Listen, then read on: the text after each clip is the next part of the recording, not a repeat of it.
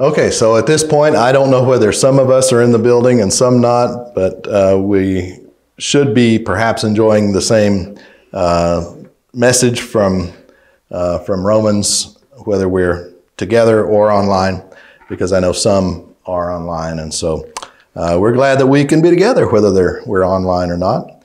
And uh, Brenda and I may be, if we're all online, we may be in Oregon this weekend, uh, trying to spend some time uh, with our son and his fiancee since their uh, wedding has been delayed once again, and we have not been able to see them since Christmas, which is um, much longer than usual. So hopefully we're enjoying that time with them, uh, unless maybe we're all together and, and uh, I'm at the building with some, and some of you are watching online. So, with all of that, uh, Jesus had a reputation for being soft on sin and easy on error. Uh, the religious people around Jesus uh, were the ones who thought this. They didn't think that he should spend time with sinners. Uh, remember Luke 7, he's, where uh, there was this situation when one of the Pharisees invited Jesus to have dinner with him. He went to the Pharisee's house and reclined at the table. A woman in that town who lived a sinful life learned that Jesus was eating at the Pharisee's house. So she came there with an alabaster jar of perfume. As she stood behind him at his feet weeping, she began to wet his feet with her tears.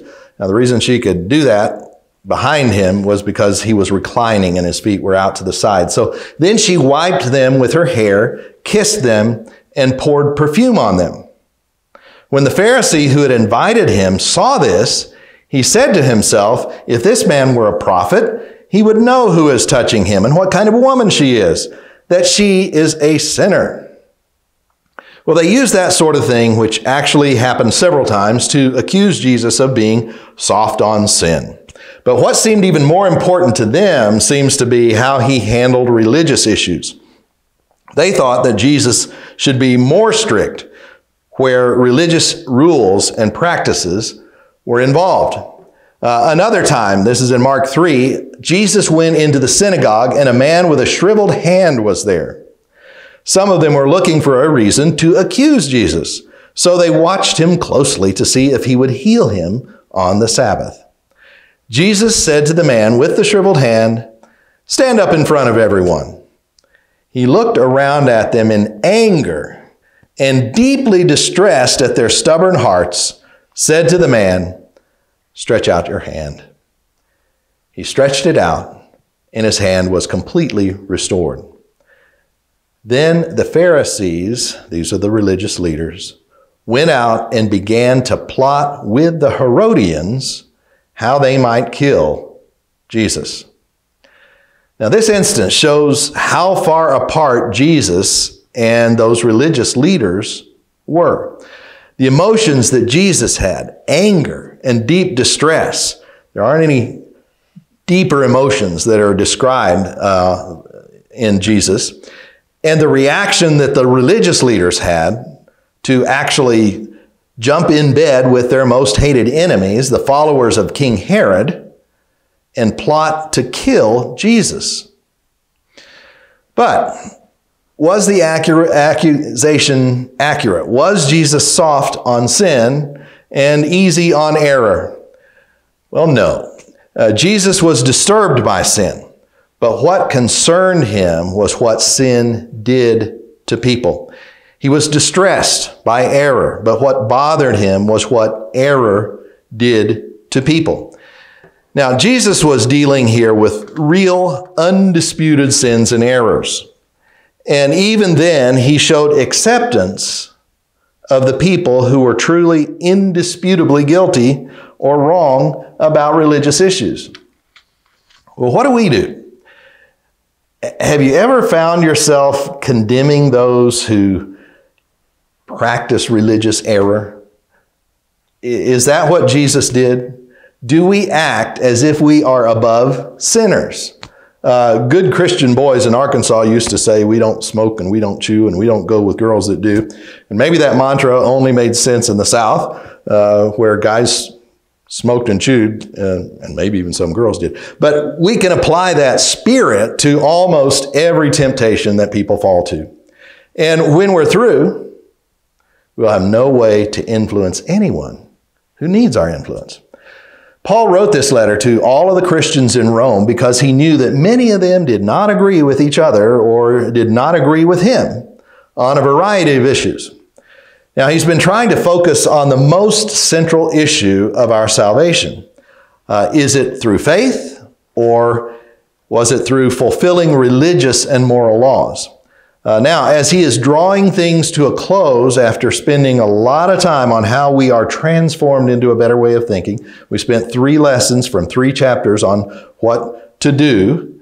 He turns to a major what not to do, which then leads to another better way of thinking and acting.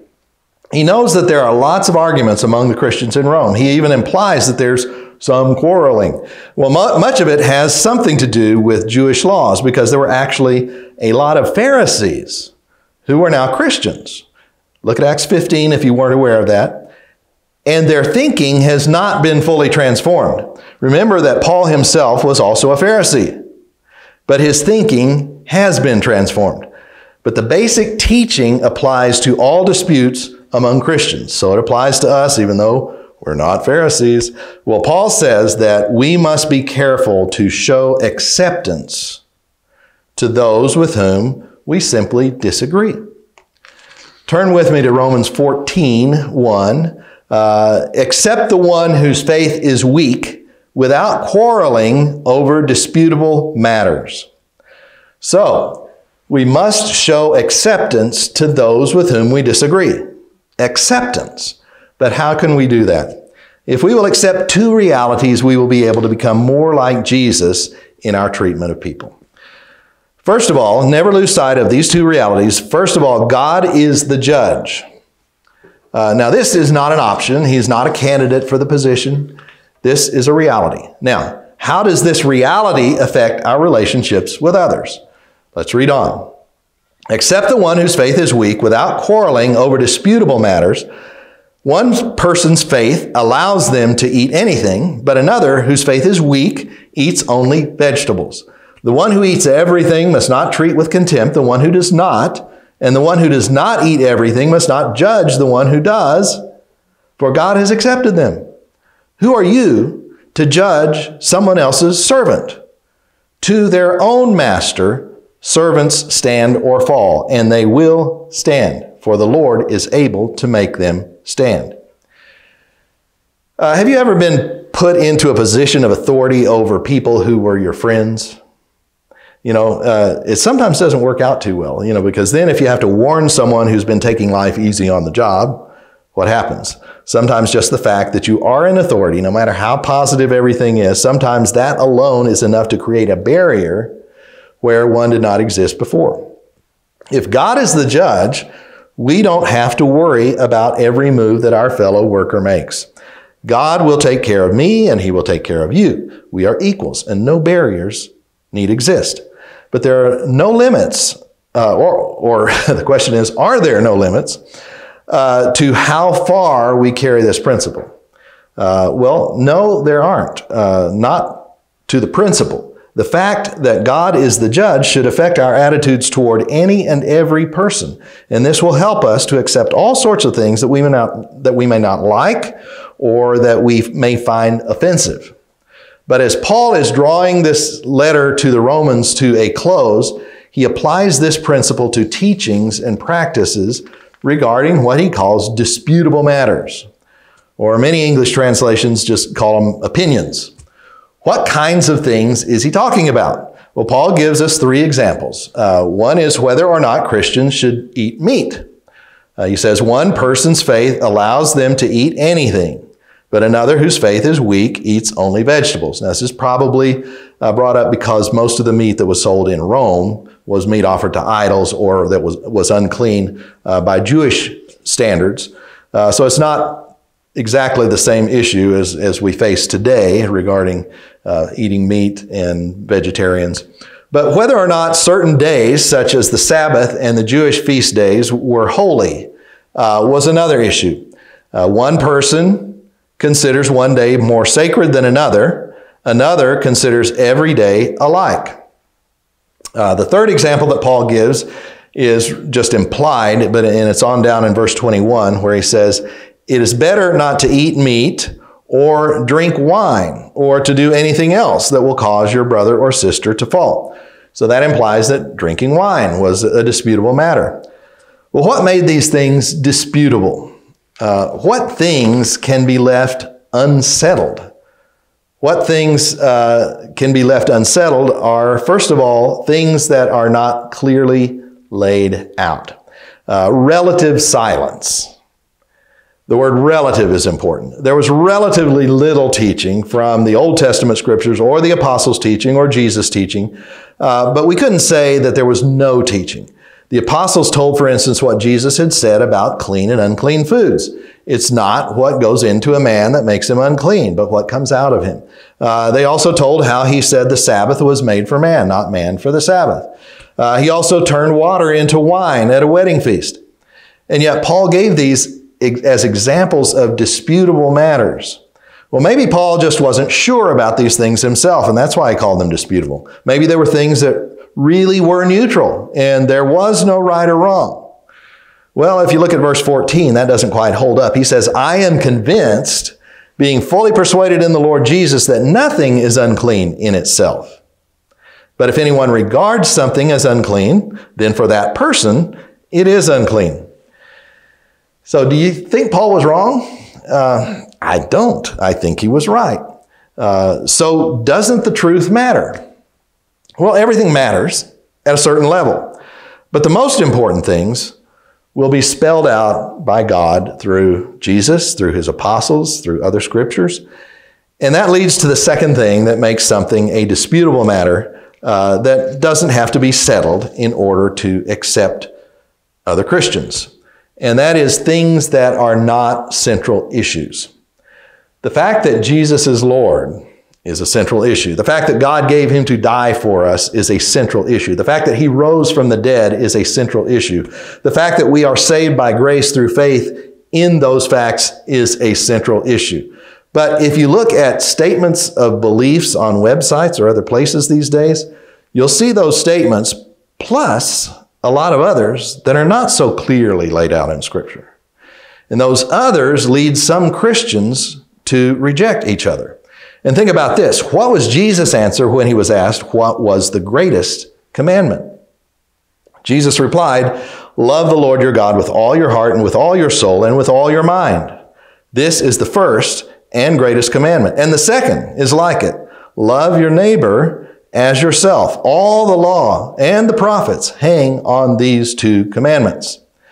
So this is the most central of all teachings. And if you look at even uh, standing creeds that go way back, uh, and statements of beliefs of churches on websites and other places, it's extremely rare to find any reference to that in their lists of central beliefs. Well, if that is not our first thought when people ask us what we believe, we need to rethink our priorities. Uh, this is what Paul's teaching here is all about. Well, the third reason those issues could be left unsettled was because they pertain to personal behavior. One person could be a vegetarian, even if no one else was. One person could keep the Sabbath, even if no one else did. One person com- could completely abstain from alcohol, even if no one else did. Now, what else could be added to the list? You know, what else fits with those three uh, things that, that make something uh, something that we should be able to live with uh, without settling. Well, let me just list some other possibilities, and I want you to work out whether or not they are disputable yourself. These are all issues that have been made matters that determined whether a person was to be accepted by other Christians. Now, some of them seem kind of funny, but uh, one is head coverings, not face coverings, but head coverings, uh, dancing, braiding hair, wearing makeup, wearing jewelry, going to movies, wearing colorful clothing, exposing any skin except for hands and face, clothes with buttons, uh, using electric lights or motorized machinery, uh, giving to orphans' homes from the church, giving to missionary societies from the church, giving to Christian colleges by churches, eating in the church building, having classes in addition to the assembly, having group Bible studies in homes, having prayer partners was a disputed matter in response to some campus ministry practices when I was in campus ministry. Adding instrumental music to singing, you know, is one that has been one of those things among us. So none of these are actually clearly decided by specific scriptures. But some can be kept between yourself and God, and maybe others can't. So, what do we do when they can't be kept between ourselves and God? Well, that's determined by the other reality. Reality number one is that God is the judge. Reality number two is that we are servants. Paul asked the question in verse 4 Who are you to judge someone else's servant? To their own master, servants stand or fall, and they will stand, for the Lord is able to make them stand.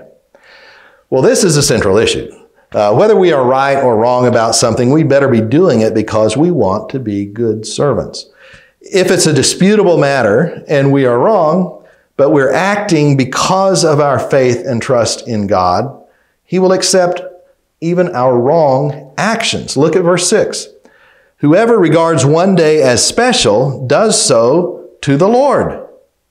Whoever eats meat does so to the Lord, for they give thanks to God, and whoever abstains does so to the Lord and gives thanks to God. So remember, verse 4 said, He will stand, for the Lord is able to make him stand. We are not to judge others because they are God's servants. And since we too are God's servants and they shouldn't judge us, can we then ignore their opinions and feelings? Well, no. So then, each of us will give an account of ourselves to God. Therefore, let us stop passing judgment on one another. Instead, make up your mind not to put any stumbling block or obstacle in the way of a brother or sister. I'm convinced, being fully persuaded in the Lord Jesus, that nothing is unclean in itself, but if anyone regards something as unclean, then for that person it is unclean. If your brother or sister is distressed because of what you eat, you are no longer acting in love. Do not by your eating destroy someone for whom Christ died. Therefore, do not let what you know is good to be spoken of as evil, for the kingdom of God is not a matter of eating and drinking, but of righteousness, peace, and joy in the Holy Spirit. Because anyone who serves Christ in this way is pleasing to God and receives human approval. Therefore, let us make every effort to do what leads to peace and to mutual edification. Do not destroy the work of God for the sake of food. All food is clean, but it is wrong for a person to eat anything that causes someone else to stumble. And it is better not to eat meat or drink wine or do anything else that will cause your brother or sister to fall. He says, Do not destroy the work of God for food. Well, what is the work of God? In this context, it is your brother or sister in Christ. As servants of God, we have a responsibility to our fellow servants. It is to make every effort to do what leads to peace and to mutual edification. Well, let's go back to the issue of uh, the entertainment media that was in that list. I'm fully convinced to use Paul's words that watching television is not wrong in itself. But watching some things is wrong. Uh, doing nothing but watching TV is wrong.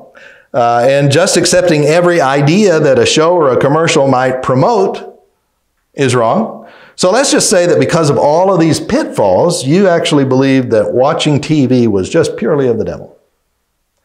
Well, then you should not watch television until your thinking has changed.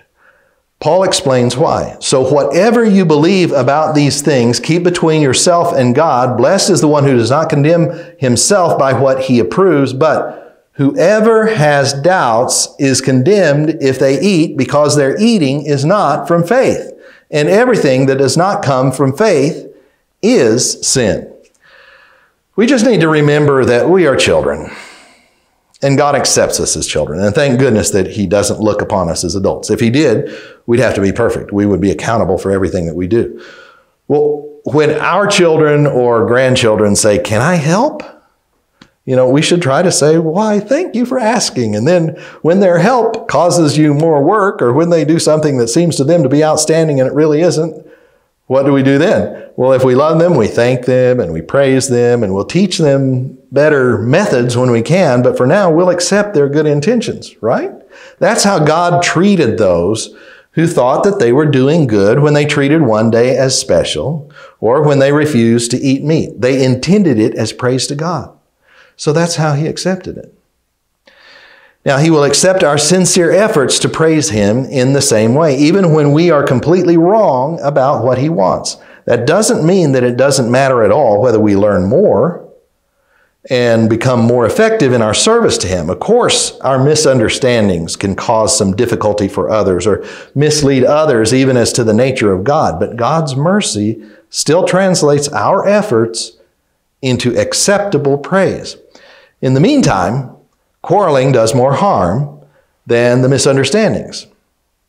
Now, on the other hand, uh, have you ever come home to find your children acting guilty and you couldn't tell why?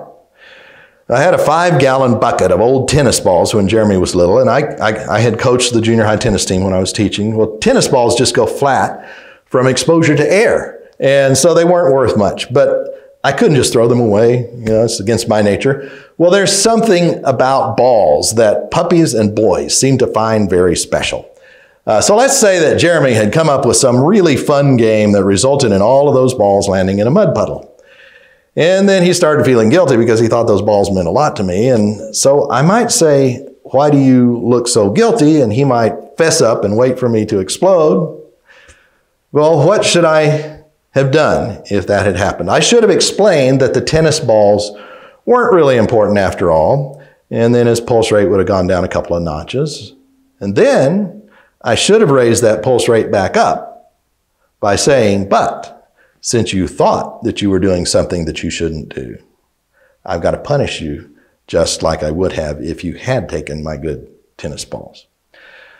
That's how God must treat us when we do things that we believe are wrong, not things that we just feel funny about you know, there are some things that we don't really have any reason for feeling funny about them, except that we just do.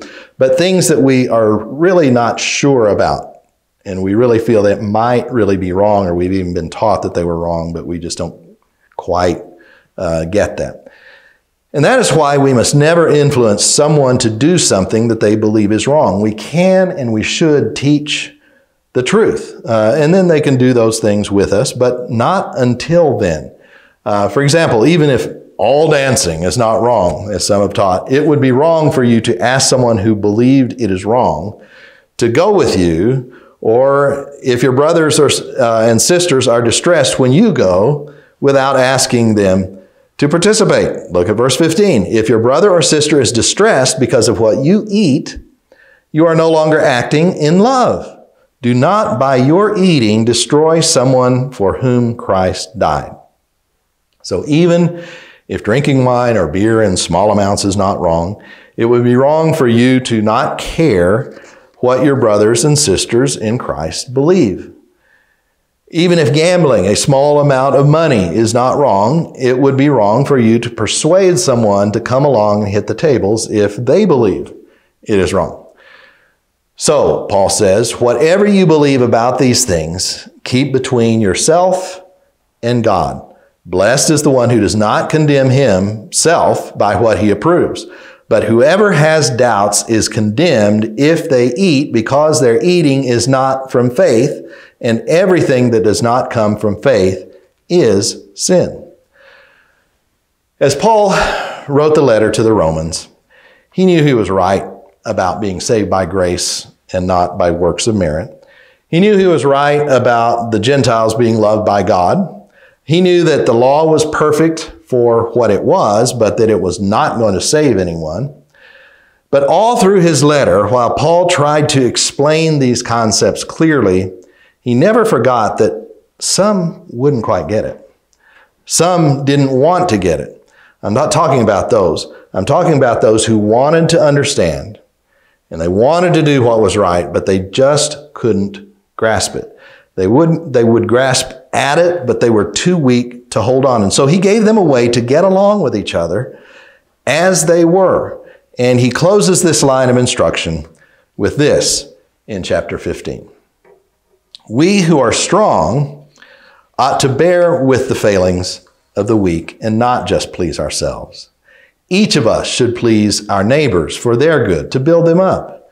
For even Christ did not please himself, as it is written, the insults of those who insult you have fallen on me.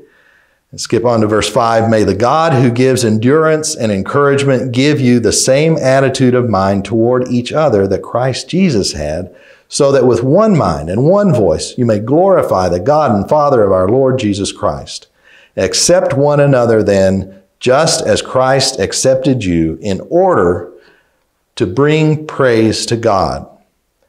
And finally, on down in verse 13, may the God of hope fill you with all joy and peace as you trust in him, so that you may overflow with hope by the power of the Holy Spirit. May the God of hope fill us with all joy and peace as we trust in him, so that we may overflow with hope by the power of the Holy Spirit. Let's pray together as we remember Jesus' sacrifice once again. Our Father, as we take this bread that represents Jesus' body, uh, let's help us to remember Jesus' sacrifice and his attitude and to have that same attitude and to be willing to give up our uh, desires and even our rights for the sake of others. And we pray these things in his name. Amen. And as we take the, the cup, let's pray again. Our Father, we uh, know that Jesus lived a life, a long life, before he even entered into his ministry. Uh, and to some extent, if not always, that spirit that he had was, was in him. But we know that, that when he died, he said that he was going to, before he died, he said that he was going to give that spirit to his followers and to us and that that became necessary uh, in order for us, his death became necessary in order for us to receive uh, that gift. Uh, and Father, we pray that as we think about the blood that he shed uh, and the life that was in that blood, that we will uh, be willing to shed our blood to give our lives in the same way.